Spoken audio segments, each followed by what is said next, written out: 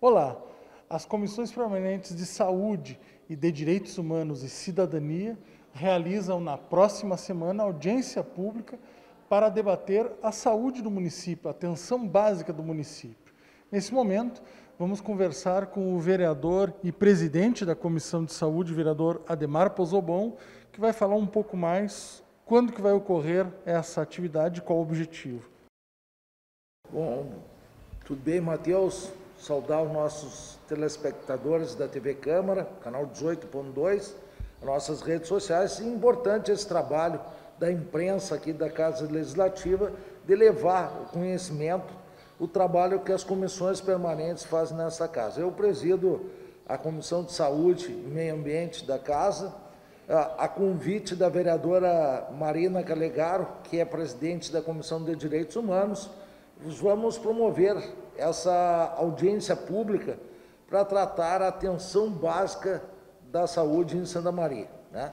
A, a, vereadora recebeu na sua comissão algumas demandas e nós conversamos com o nosso secretário Guilherme Ribas, secretário da, da Saúde do município, e resolvemos então trazer essa audiência pública, esse debate aqui para a Câmara de Vereadores, porque algumas pautas que foram cobradas na reunião já, ah, já foram atendidas, né? foram cobradas nas reuniões da, das comissões. Já são pautas que já a Prefeitura, que o Executivo Municipal, através da Secretaria de Saúde, já resolveu. Mas é preciso esclarecer para a população e buscar, sim, o atendimento daquelas demandas que ainda não foram atendidas.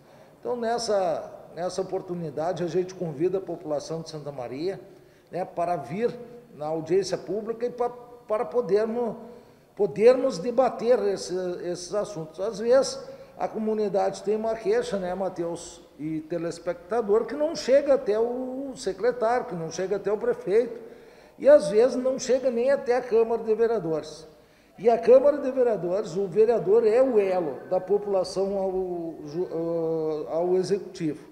E as comissões, essas comissões permanentes, hoje a Comissão de Saúde e, e Direitos Humanos, vamos promover esse debate entre população e executivo para assim melhorarmos sempre a saúde. A gente sabe, o secretário tem nos dito que já foi feito muita coisa, mas a saúde é uma pasta que requer ah, cuidados 24 horas por dia. Nós não podemos descuidar nunca.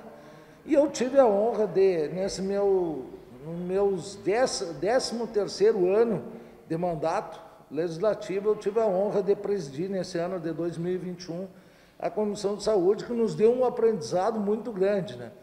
A gente diz que é um vereador experiente aqui pelo tempo de casa, mas em termos de comissão de saúde, foi o primeiro ano que eu participei e já tive a incumbência dirigida pelos meus colegas para ser o presidente dessa importante comissão. Vereadora Demari, quando que vai ser realizado o horário essa audiência pública? É dia 29, 29 de novembro agora, às 18 horas e 30 minutos. Né? Então a gente convida a população, é muito importante, muito importante, as pessoas que usam nossos postos de saúde, que, que dependem do SUS, depende da saúde pública do município, vir trazer as suas angústias e também aquelas que já receberam atendimento, que que tem um atendimento qualificado, que possa dar o seu depoimento aqui, para a gente também fazer o contrabalanço, aquilo que a gente diz, né? Nem tudo está ruim, mas a gente sabe que tem muita coisa a ser melhorada ainda. Então, nessa, nesse debate, nós vamos ter certamente aqui o nosso secretário, vai ter mais gente do Executivo Municipal, as, os técnicos da Secretaria de Saúde vão, vão estar aqui, e daí a gente vai abrir a, a palavra aí para as pessoas realmente debater. É, normalmente as audiências públicas elas têm duração de duas horas. Se a gente tiver que prorrogar um pouquinho mais, nós vamos prorrogar, mas queremos ouvir primeiramente a população. É muito importante a palavra da nossa população e no dia 29 de novembro, a partir das 18 horas e 30 minutos, é muito importante a presença do público aqui. Vereador, muito obrigado.